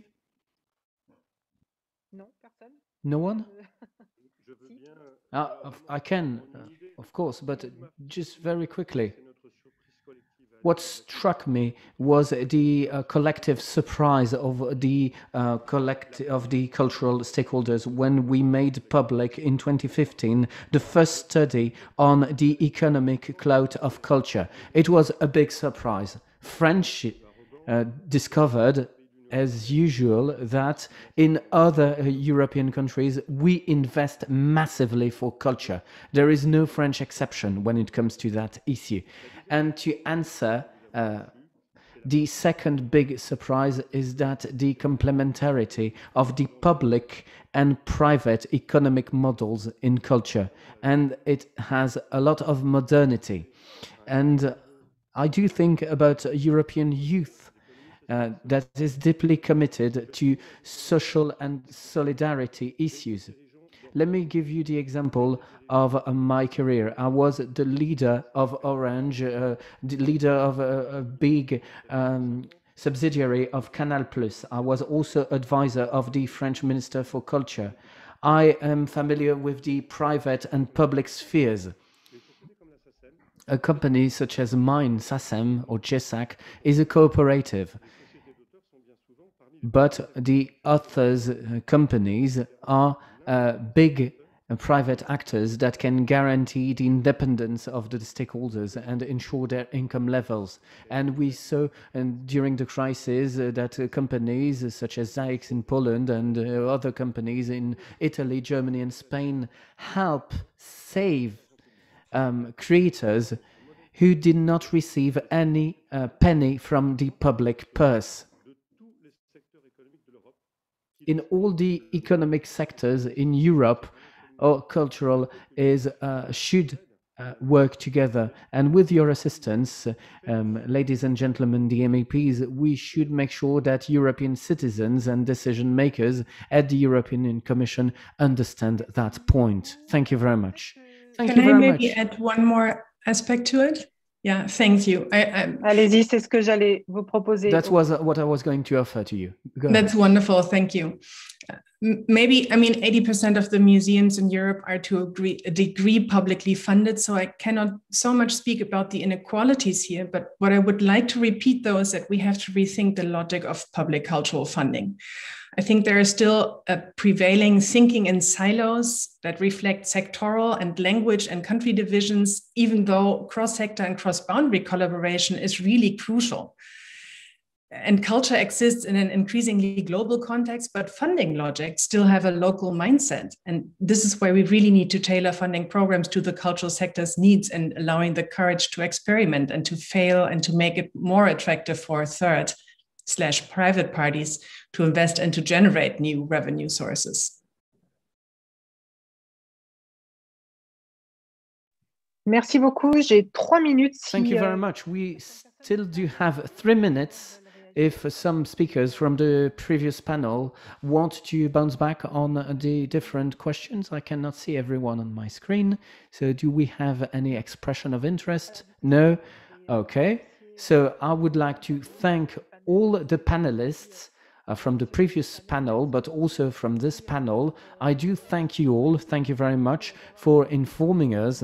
And thank you as well for being so direct with uh, clear proposals that we will be able to use at the European Parliament in order to ensure the implementation of the recovery plan by the Commission. Now, I would like to give the floor to my colleagues, Fred Matic and Tomas Frankowski, for the uh, concluding remarks But please stay with us up until the end of the event to have the performance of the music band Laura Crow and him. Thank you very much. Thank you, Salima. Do you hear me? Dear colleagues, dear representatives of the cultural and the creative sector, let me first thank you for all your contribution today, as well as the interesting discussions we heard. We thank you for making one thing very clear. There, is, there are no risks related to attending cultural events live, even large events.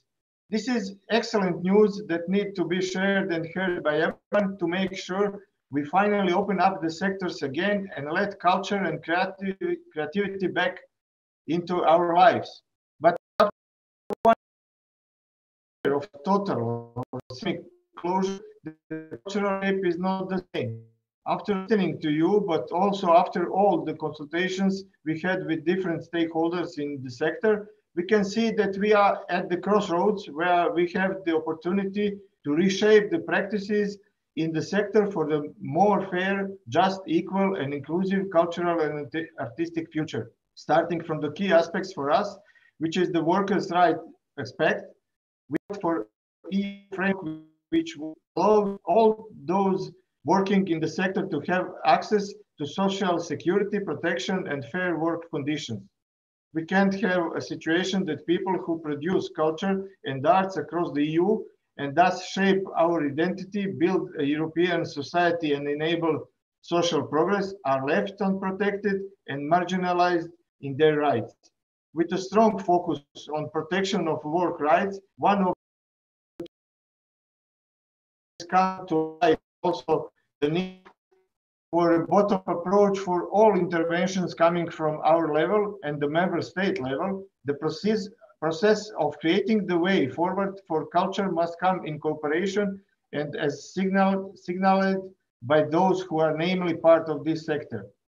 As we all know, the creation of a better and stronger way forward will not be possible without ensuring sufficient advocacy for the earmarking of 2% from the recovery mechanism will continue, while we also have to find ways to strongly advocate and recommend the increase in long-term public invest for culture and art, as well as try and remove all obstacles that interfere with the sector's possibility to apply for funds, namely simplifying, simplifying the procedures in these applications and promote an increase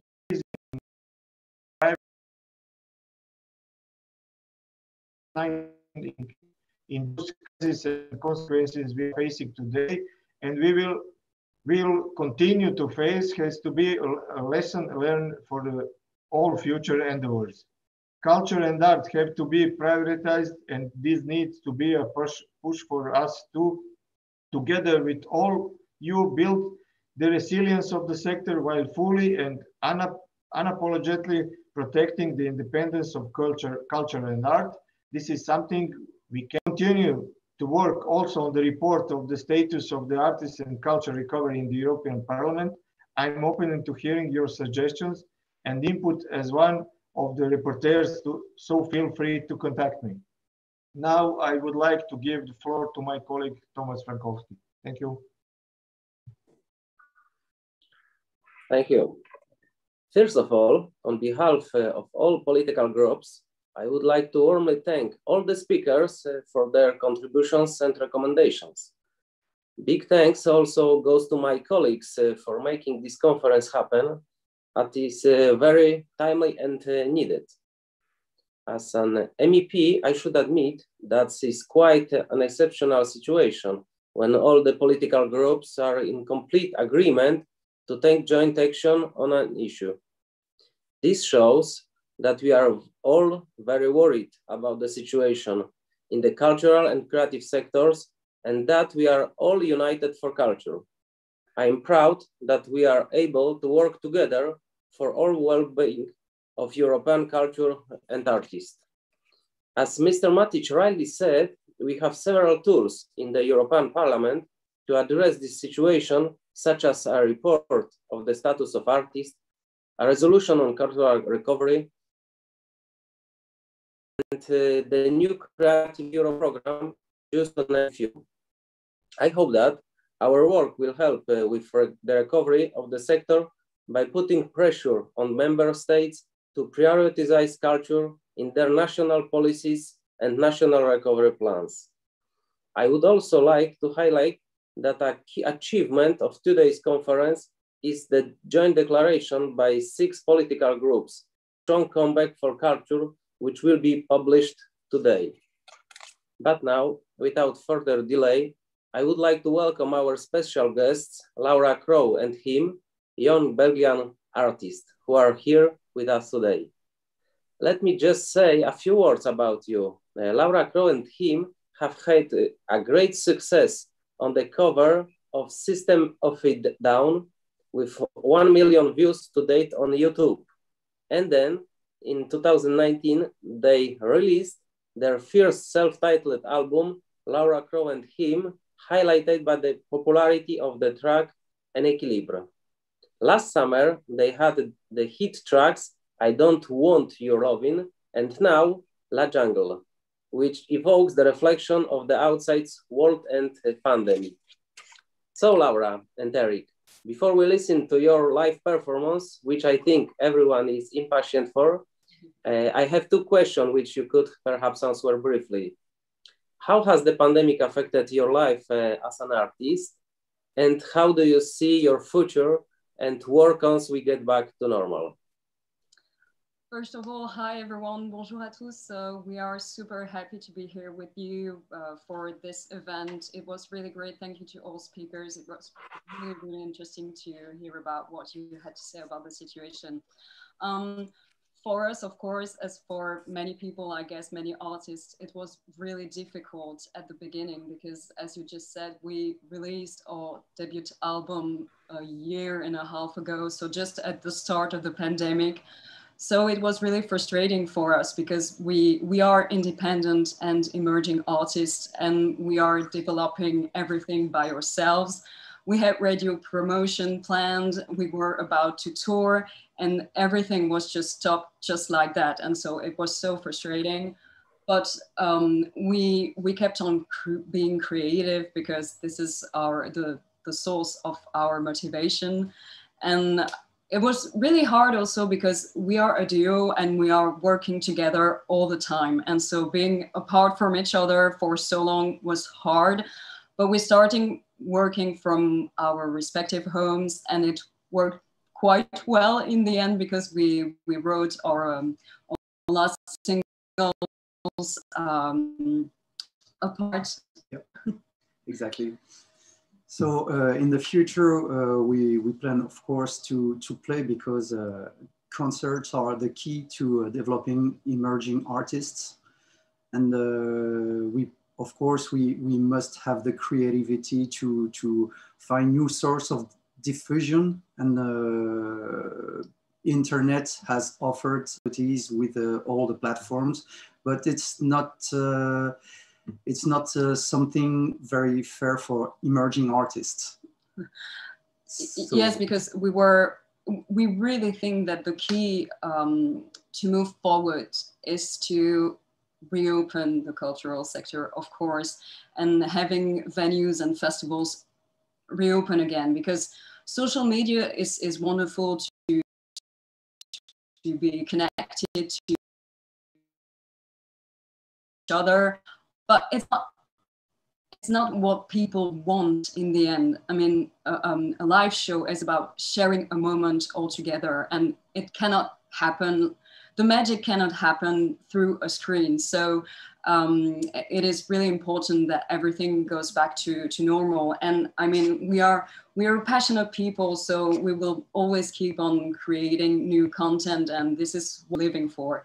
But um, honestly, I think that solutions have to be uh, sought after because uh, right now it's really difficult for um, emerging artists because as you can imagine, we we don't get the chance to to play live gigs anymore. And as you might say, as you might know, sorry, um, all digital platforms are not really retributing uh, artists very well. So it's kind of complicated uh, financially speaking, of course. So uh, solution um, happy to be also fun that uh, in that area. Thank you very much for this testimony and for sharing your experience with us today. No problem. And now, let's listen to the live performance of Laura and Crow and him. The stage and all our attention is yours. Thank you very much. Thank you. Thank you. The first song we're about to play is our latest single, uh, which is in French. Uh, it's called La Jungle. And the situation we're living right now, we are describing um, the, the world we are living in as a dangerous jungle full of uh, danger, uh, full of danger, but also uh, appealing jungle. Okay. So. Qu'est-ce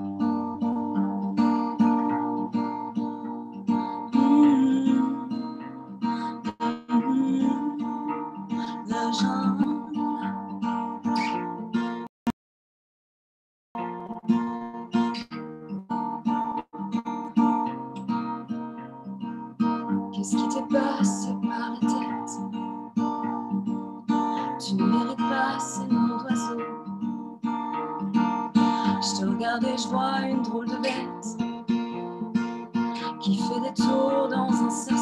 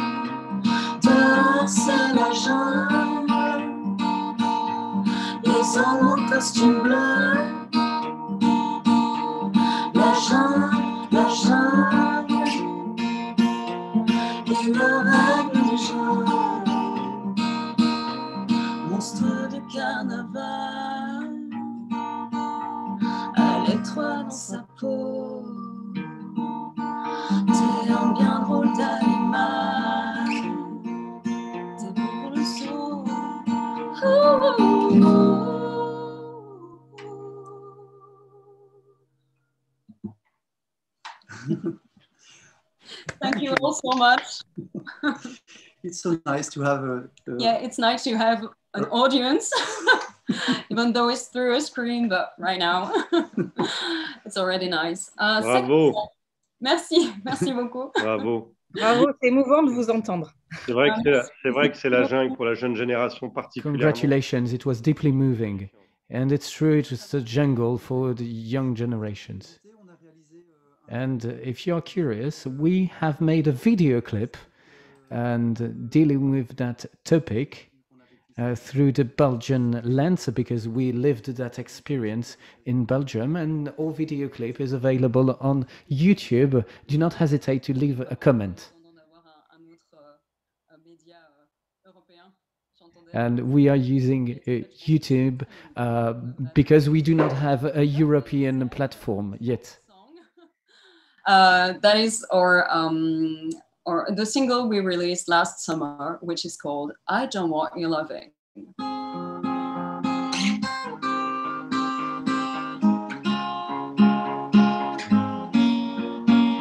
I don't want your loving. This is how I feel about you. It's quite confusing. You're cute as fuck, but scary too. I would I find? Why could be your mind? Your secret desire to pull me. I don't want your loving because it's so irrational. It's all or nothing. You got me back against the wall. I don't want your loving because it what makes you feel alive. I don't know. Trying so hard to pretend you're my friend.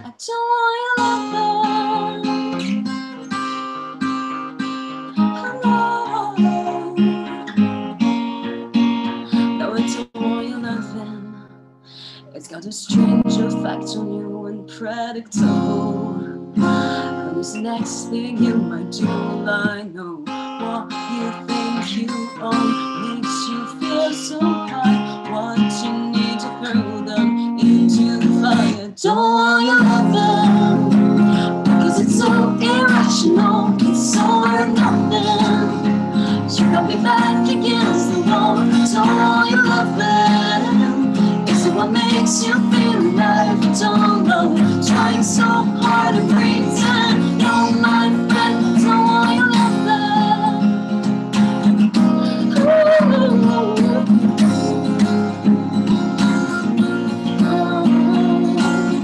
Something about you. I know there's something wrong with you. Why don't you keep your love for you?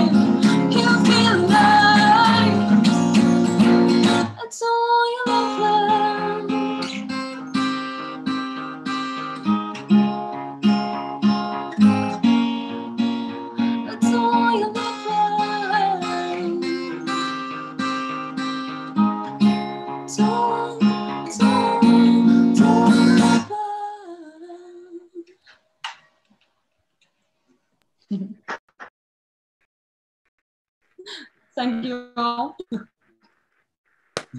we, we were hoping the sound is, is great because this is very roots. And we have the church right and here. we have the, the, bells church. are ringing. The, bell, the bells are ringing. Sorry for this. Um, next song is uh, one taken from our debut album, and it is called.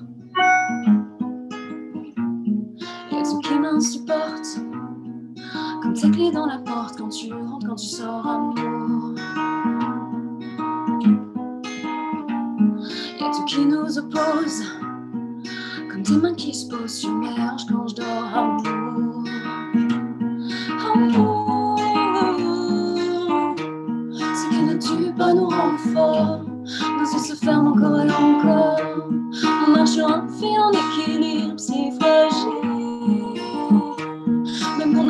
se on ne pense jamais qu'à nous-mêmes. Le des coups bas qu'on se donne nous rend sourds. No, I don't love you anymore, but baby, I won't go. I promise better foolish, how low can we go? No, I don't care anymore. I'm just numb, you know. It's fine when you're lying. How moi, mais on se persuade à tous les jours qu'on y croit. On joue encore jusqu'au jour où tout s'arrête. Jusqu'au jour où tout s'arrête. Et tout ce que je garde pour moi, ces choses que je te dis pas de peur que ça gâche un reste d'amour.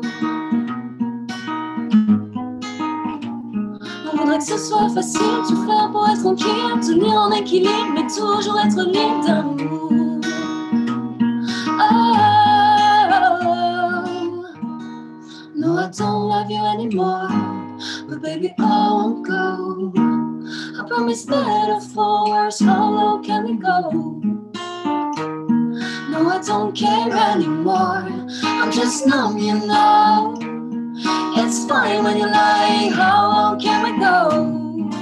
Ouh, c'est mort, mais on se perçoit tous les jours qu'on y croit. On joue encore, puis un beau jour. Ouh, c'est mort, mais on se perçoit tous les jours qu'on y croit. On joue encore, jusqu'au jour où tout s'arrête. Ce qui ne tue pas nous rend forts. Nos yeux se ferment encore et encore. J'attrape ta main pour ne pas tomber dans le vide. Témoin de l'amour qui s'égrène, on évite de se faire de la peine. Jusqu'au jour où tout s'arrête.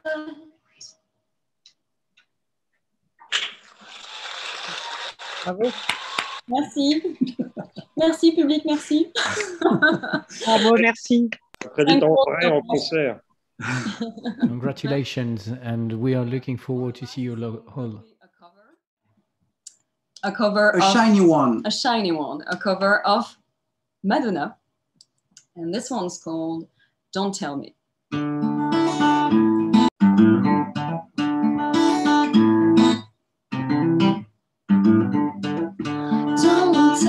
To stop. Tell the rain not to drop.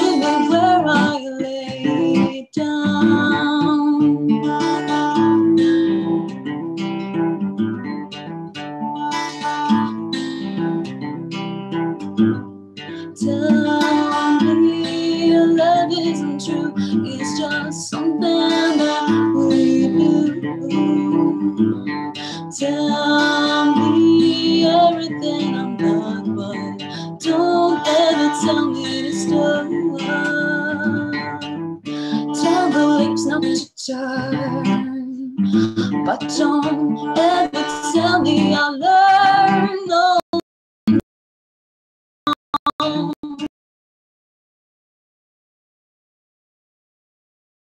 Tell me I have to go. Tell the bed not to lay like the open mouth of a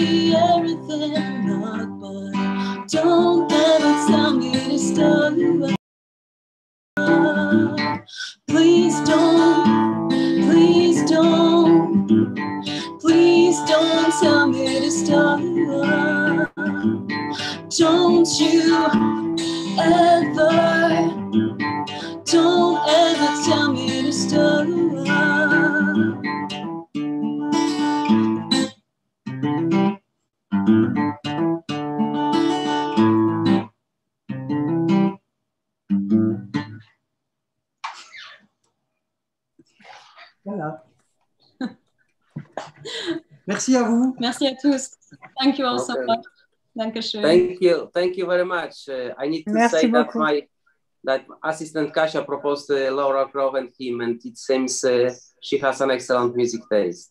Uh, Oh, thank you so much. we feel really, really blessed. Thank you. Thank you so much. So I would like to say thank you. Thank you for the wonderful music. I think that was the highlight of the event, but also thank you to all our participants. I think we got a very important input for our further discussions uh, for the next uh, uh, uh, weeks and months of recovery. And uh, we will uh, take your comments and your input on board when discussing the further actions we have to take from European side, but also when we discuss with our national politicians and national responsible persons, uh, not just the ministers for culture, but also the ministers for economy and, and finance.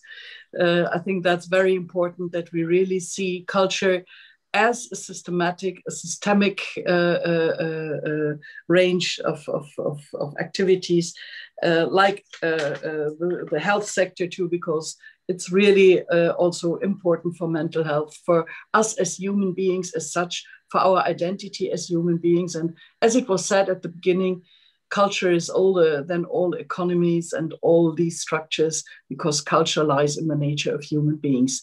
So thanks a lot to all of you. Thanks a lot to those who organized uh, uh, this discussion. Thanks to the interpreters, to the technicians who made it possible that we could meet. Thank you to all of them who were not on the Zoom meeting, but on Facebook with us, uh, streaming the event. And I hope that we reached out to many, many people and uh, gave a signal that we are, uh, that in our work, uh, culture is in the center, is in the heart uh, of our work. Thank you very much. Thank you. Thank you.